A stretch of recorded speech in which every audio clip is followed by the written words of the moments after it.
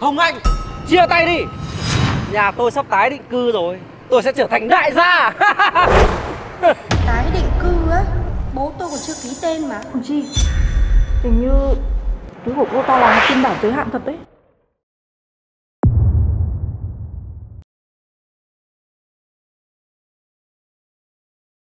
Hồng Anh Sao con lại đi thuê phòng trọ làm gì Bố chuẩn bị làm khu tái định cư mới. Rất nhiều biệt thự Con thích chọn căn nào để ở thì chọn. Bố thì làm bất động sản Nhiều nhà đẹp như thế không ở. Lại đi thuê phòng trọ làm gì? Con không thích mà bố. Thôi con về căn nhà nhỏ xinh của con đây. Căn biệt thự to như thế này Tôi lại phải ở một mình rồi Sao anh Cường mãi không trả lời tin nhắn của mình nhở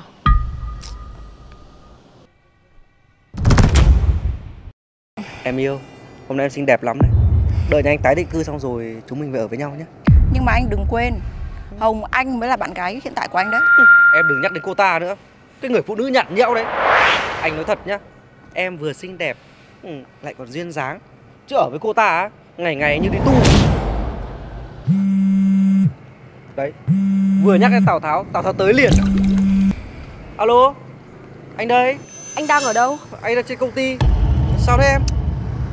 Vậy sao?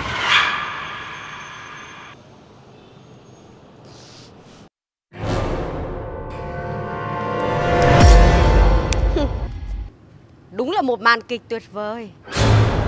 Anh trốn tránh làm cái gì? Chẳng phải anh bảo là muốn chia tay cô ta sao? Hồng Anh Cô không có những gì mà tôi muốn Chẳng lẽ bây giờ không để người con gái khác ở cạnh tôi được sao? Cô đừng tỏ vẻ là mình cao sang. Yêu nhau ấy Thì không cho người yêu đụng chạm. Đến lúc anh ấy có người khác ấy Thì lại không cho. Đúng là đối kỷ. Đúng. Là tôi sai. Vì tôi mù mắt mới đi tin cái loại rác rưởi như anh. Còn bây giờ ấy Cái loại rác này tôi vứt đi rồi. Cô có thích ý Thì lấy về mà dùng. Cô Tôi chỉ phạm phải vào những người lỗi mà đàn ông nào cũng mắc phải thôi. Cô nhìn lại mình đi Đến nhu cầu của bạn trai còn không đáp ứng được ấy. Cô bao giờ nghĩ cho cảm xúc của tôi chưa? Cường Tôi nói cho anh biết. Chúng ta chia tay đi. Và là tôi đá anh. Hồng Anh Chia tay đi. Nhà tôi sắp tái định cư rồi. Tôi sẽ trở thành đại gia. Tôi mới là người khinh cô. Cái con á đi ở thuê. Tái định cư á? Bố tôi còn chưa ký tên mà. Thôi mình đi em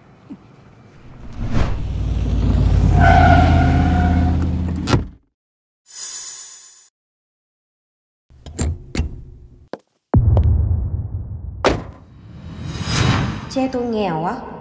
Tôi không giả vờ nữa. Ôi, thích thật đấy xin vía. Ôi, Cái túi này ấy, là anh Cường Bạn trai tôi mua tặng cả nước Chỉ có một cái thôi. Ôi, mà anh Cường đã đến với cô rồi ấy. Anh Cường tốt thật đấy. Mấy cái túi này cũng phải mấy trăm triệu đấy nhở Ôi, Xin vía nhá.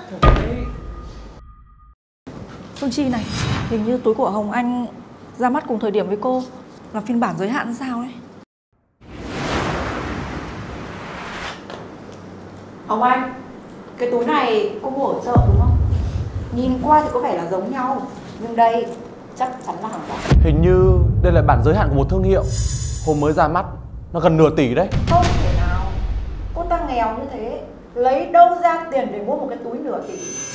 Nếu như là người có tiền ý Thì đâu cần phải đến công ty của chúng ta để thực tập. Đúng rồi đấy nhở Mà tôi mấy tháng nay cũng không thấy cô ta đeo túi hàng hiệu. Chắc gì túi này đã là thật. Hồng Anh Cô bớt đeo hàng giả lại. Loại da này còn có mùi nữa. Hàng giả thì mãi mãi là hàng giả. Cô có cố đến mấy Tôi không mê nổi đâu.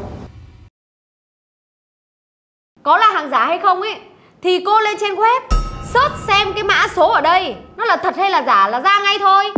Tôi dám tìm Còn cô dám tìm không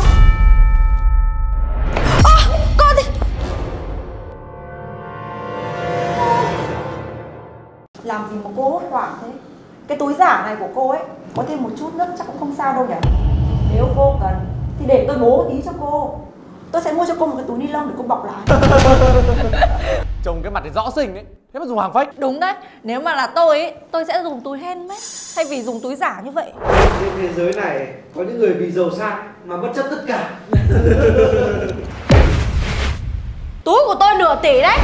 Cô đền đi. Bồi thường á muốn tôi bồi thường cho cô cái túi giả này á Đeo một cái túi hàng giả để đi gạt người Đúng là vô liêm sỉ Nếu tôi mà là cô ấy, tôi sẽ xin từ chức. Thôi Phương Chi, đừng lo nữa. Để tôi tra hết xem là túi của cô ta là hàng giả hay hàng thật. Dùng hàng giả to mồm. Phương Chi, hình như túi của cô ta là phiên bản giới hạn thật đấy.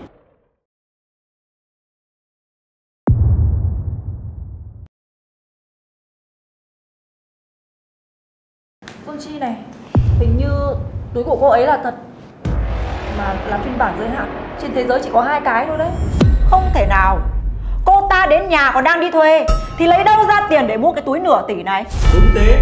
Hồng Anh còn đang phải đi thuê nhà, chắc chắn là xảy ra lỗi ở đâu rồi. Sự thật ở trước mắt. Bồi thường như thế nào đây? Nhưng mà thật sự là cô ta đang ở nhà thuê. Mà quan trọng là cái nhà cô ta đang thuê Là nhà của cậu tôi. Tôi có hợp đồng thuê nhà. Có thể cho mọi người xem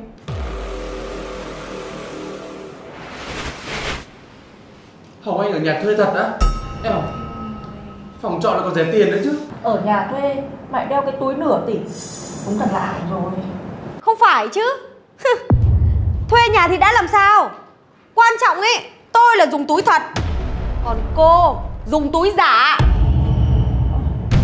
Mà Phương Chi này, cái túi của cô tôi tra không ra được mã luôn đấy. Ôi ôi Túi Phương Chi là túi fake lắm Túi fake kìa Không thể nào? Cái túi này là anh Cường tặng tôi. Anh Cường làm sao mà có thể tặng tôi một cái túi giả được? Đúng thế, nhà tôi sắp được đền bù, không bao giờ tôi mua túi giả. Bồi thường thì làm sao? Bồi thường chứ đã dỡ bỏ đâu? Thế thì cô nghĩ xem Chưa dỡ bỏ thì tiền đâu Để mà mua chiếc túi này cho cô.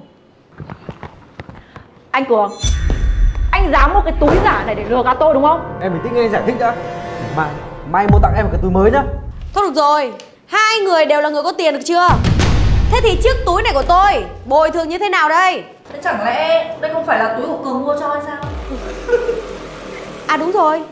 Vừa nãy trước mặt mọi người Phương Chi là người đổ nước lên chiếc túi của tôi. Thế thì 500 triệu này Ai là người bồi thường? Nhưng tôi nghĩ Từng đây tiền cũng chỉ là Mua mới rau ngoài chợ đối với anh Cường thôi nhỉ? Sao? Làm gì mà lâu thế? Hay là không có tiền Chẳng phải là anh có tiền sao Anh bồi thường cho cô ta đi Em đợi anh một chút nhá. Anh đi gọi một cuộc điện thoại thôi.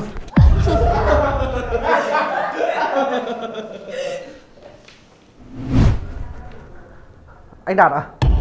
Anh có 500 triệu không ạ? Anh cho em vay với. Nhà em sắp được đền bù rồi. Đợi tái định cư xong em trả anh ngay ạ. Được rồi, phần trăm vẫn như vậy nha. Dạ dạ.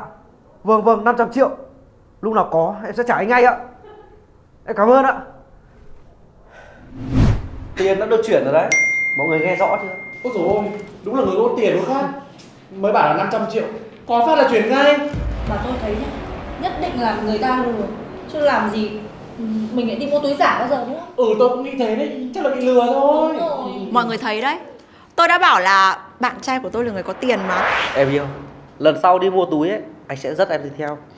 Để không bao giờ phải xảy ra cái tình trạng này nữa. Nhá. Anh đúng là tốt với em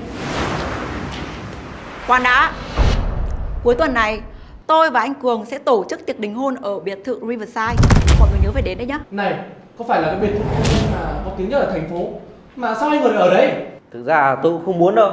Nhưng mà đấy là nhà của gia đình ấy mà.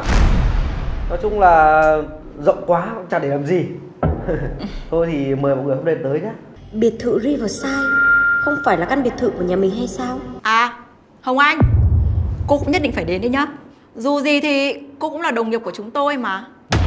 Tôi có việc rồi. Cô có việc á? Cô thì có thể có việc gì được chứ? Tiệc đính hôn của chúng tôi chỉ có một lần thôi. Tôi về nhà. Tôi phải xem Biệt thự của nhà tôi làm sao có thể biến thành hội trường đính hôn của các người được.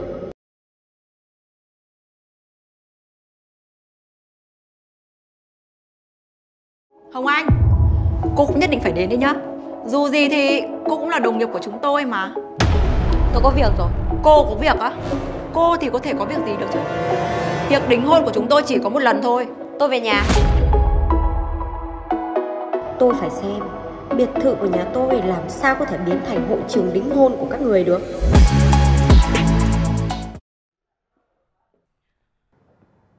Tiệc đính hôn của Cường lớn thật đấy. Không hổ danh là biệt thự lớn nhất thành phố này. Thật ngưỡng mộ, chúng tôi được mở mang tầm mắt. Chúc mừng hạnh phúc hai người. Vẫn là anh yêu của tôi, chiều tôi nhất mà. Đi vào. Hồng Anh Chẳng phải là cô bảo là cô sẽ không đến sao? Lại đổi ý rồi à? Muốn đến mở mang tầm mắt đúng không? Tôi không rảnh để đến đây tham dự tiệc đính hôn của các người Mà là tôi về nhà Vì đây là nhà của tôi. Hồng Anh Cô tự đừng làm xấu mặt mình nữa. Cô chưa quên được tôi Hay là muốn đến xem? Cũng đúng Chồng sắp cưới của tôi đây là một người tài giỏi. Cô không buông được Cũng là chuyện bình thường. Ừ, Dù sao thì cô cũng đến rồi. Hay là cô vào trong mở mang tầm mắt đi. Đâu phải ai cũng có cơ hội để thấy được một căn biệt thự lớn như thế này đâu. Biệt thự này nằm trong khối tài sản của gia đình nhà tôi. Ở bên Anh Quốc nhà tôi còn có một căn biệt thự to gấp 10 lần như thế này nữa cơ. Mọi người nghe thấy gì chưa? Cô ấy bảo căn biệt thự này là của nhà cô ấy đấy. Hồng Anh, cô nói linh tinh cái gì đấy? Biệt thự này mà là của nhà cô á Hồng Anh này, cô có chắc là sau khi bị anh Cường đá, não của cô còn bình thường ấy chứ? Cô đừng có thấy tiệc đính hôn của hai người họ quá hào nhoáng, mà cô ganh tị nhá. Hay là như thế này đi, tôi sẽ mời bác sĩ giỏi nhất về để khám não cho cô. Thôi, cô nhanh chóng đi đi Đừng tự làm mất mặt mình trước mặt mọi người Đúng rồi đấy, ở đây không ai đón tiếp cô đâu, cô cút đi đi. Đúng rồi đấy, cô đi đi Đi về căn nhà thuê của cô đi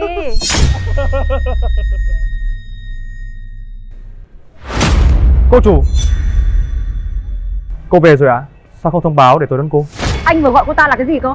Đây là cô chủ tôi Chủ nhân của căn biệt thự này Cô chủ Tôi không tin Chuyện này là như thế nào? Vậy là Hồng Anh chính xác là cô chủ đấy, bởi vì cái tú hôm trước những 500 triệu cơ mà. Thế Hồng Anh là cô chủ của căn biệt thự này à?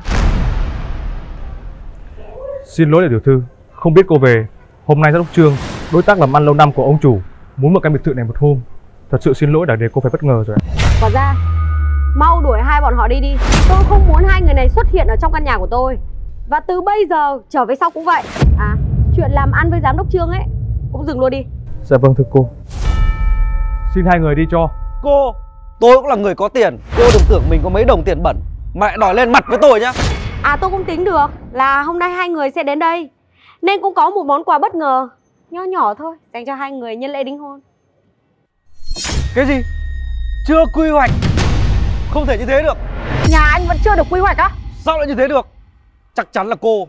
Chắc chắn là cô đã gạt chúng tôi. Bố của cô chủ Bùi Tổng là người phụ trách khai phá khu vực này. Nếu như đã có văn kiện Thì chắc chắn đó là sự thật. Hồng Anh Cô giận cá chém thớt đúng không? Khu vực này đã không được duyệt từ trước. Ngược lại là do chính anh đã quá gấp gáp. Chắc là anh đã phải đi vay mượn Không ít tiền đâu ấy nhở? Ôi rồi thế tiền của Cường toàn là mượn à? Chưa giải tỏa thì lấy đâu ra tiền? Ôi rồi Anh Cường, chia tay đi. Mối hôn sự này tôi không cần nữa.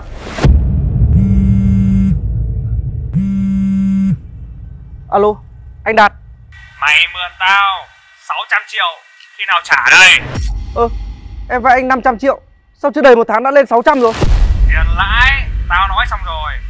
Mày khôn hồn thì trả cho tao. Không tao giết mày đấy. Hồng Anh Em cứu anh đi.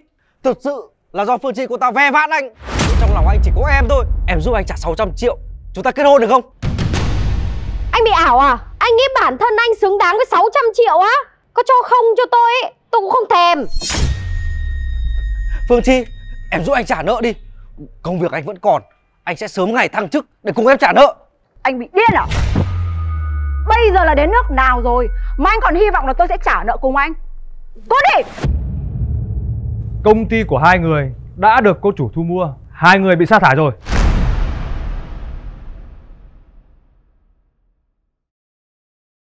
Hồng Anh này Tôi biết ngay là bọn họ có ý đồ xấu với cô mà.